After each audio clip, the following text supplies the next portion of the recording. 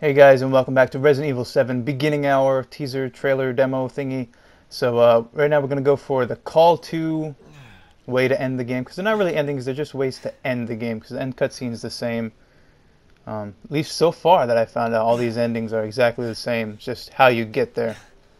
So we already did the backdoor exit where we messed around with the tape and the keys.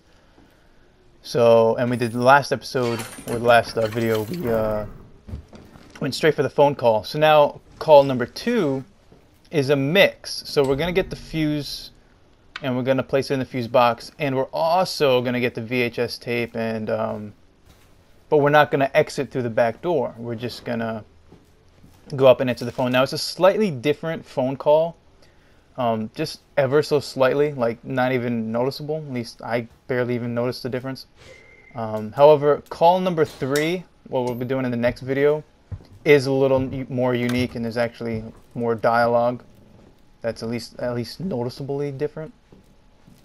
So if you want to watch the full playthrough, watch the backdoor exit, and that's where we watch all the cutscenes and I don't talk as much and we actually go through it and it's more at atmospheric. But right now we're just going for the thing. So over here, this is where the lockpick is for the axe, but it's only when you're in the VHS world. Alright, so we need to get the bolt cutters. Okay, no. Let's grab these. And we're not scared of you anymore.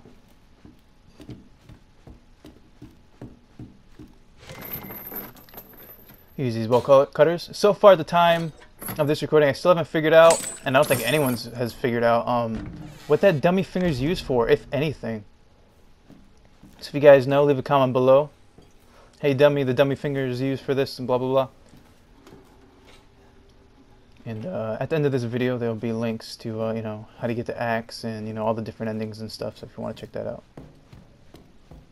At least like four or five Resident Evil 7 videos uploaded. Not going to be all uploaded at once if you're watching this just as they upload. Give it some time. Got to upload all those videos and then add all the annotations and all that stuff, so, you know, bear with me today of the upload.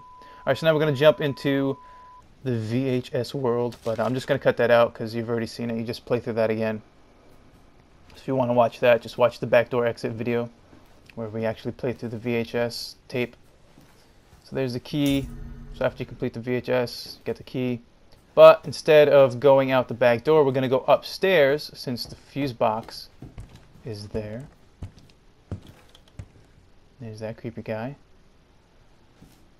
We don't, I don't know, do we have the axe? Oh man, we should have tried to run up and smack his face. Oh, so we gotta try that one day. Alright, here he is making noise upstairs. Oh yeah, that's right, because you don't have the axe yet. That's right, yeah, so we can't run up and axe him. So here, so we open the drawer in uh, the VHS world, so we got the axe. And again, there'll be a link at the end of this video if you want to watch and see how I got this. But I uh, kind of just want to mess around a bit, see if there's anything in here. Mess around with the axe. But uh, you know what, we'll actually save all this axing around, messing around with the axe um, in the next video. So let's just cut to us going upstairs. And we go. So let's just ah, smash these boxes. I like the sound of these boxes. I think that's like a past Resident Evil smashing the box, but it's not good. Now you notice you can't destroy those mannequins, but the other mannequins we encounter you can.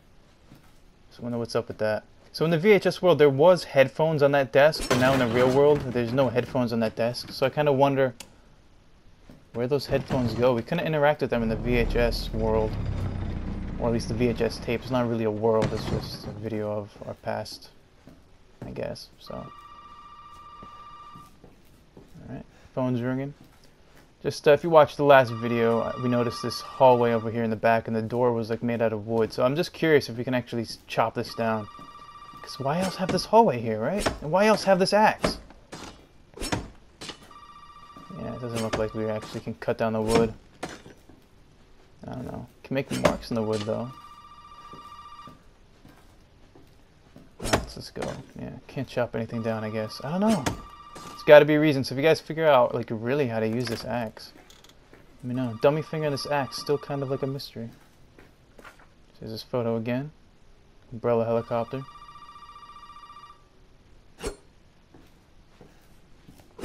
Can't smash the lamp. How about you? Yep. Smash every other for those three by the bud. Alright, let's go. Slightly different phone call. Alright, alright, let's go. I know who you are. Who, who are you? You have the power to choose, but the outcome of that choice may not be what you expect. Hmm. Was that different? Maybe. Maybe a little bit. Now that we have the axe, I wonder if we can kill the guy before he tries to punch us in the face. I'm sorry, your call cannot be completed as dialed. Please hang up and try again. Buddy.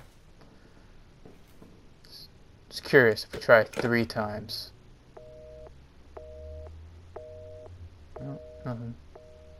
I can't hang up. He holds it for the like two seconds and then he puts it down automatically. So, see if we walk backwards. If we can't. Welcome to the family, son. Nope, he just always pops up. Ah, damn.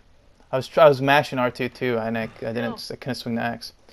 All right, so that's it. That's um, call number two. Call number three is a unique phone call, so definitely click on call number three and check that out. That's where we mess around with the fuse box, avoid the mannequins, and then answer the phone. It's completely different than the call one and call two, so it's definitely worth checking out call three. If you didn't see the past video where we did backdoor exit, that's the full playthrough with all the cut scenes.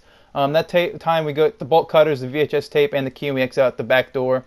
Um, that one has all the cutscenes, so you get all the story and stuff. That's the full playthrough where I don't talk as much and it's more atmospheric. So definitely check that out if you haven't.